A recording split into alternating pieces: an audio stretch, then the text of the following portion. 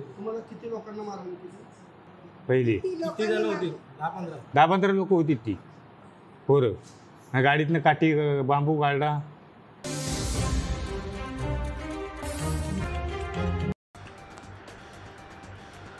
पिंपळवाडी मारहाण प्रकरणी आमदार गोगावले यांच्या बंधू पुतण्यासह उपसरपंचावर गुन्हे दाखल.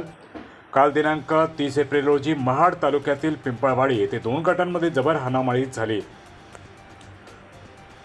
येथे दोन गटांमध्ये जबर हाणामारी झाली होती. यामध्ये विद्यमान उपसरपंच कल्पेश पांगारे यांच्यासह इतर व्यक्तींना मारहाण झाल्याचे निष्पन्न झाले होते. आमदार भरतशेठ गोगावले यांचे बंधू व पुतण्या यांच्या समवेत असणाऱ्या इतर लोकांनी आम्हाला बेदम मारहाण केली आहे असा आरोप पिंपळवाडी उपसरपंच कल्पेश पांगारे यांनी केला होता. परंतु सदर झालेली मारहाण दोन गटांमध्ये झाली असता महाड एमआयडीसी पोलीस ठाणे येथे परस्पर विरोधी गुन्हे दाखल करण्यात आले आहेत. पिंपळवाडी येथे गावची यात्रा असल्याने सर्व ग्रामस्थ एकत्र जमले होते व यामध्ये शाब्दिक बाचाबाचे होऊन दोन गटांमध्ये हाणामारी झाली होती.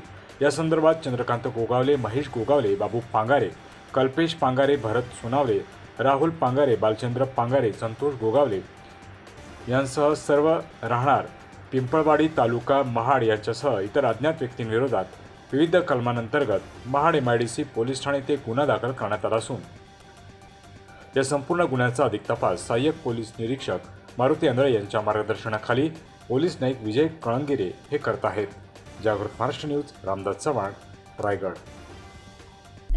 जागृत महाराष्ट्राला सबस्क्राईब करा आणि बेल आयकॉनला प्रेस करा.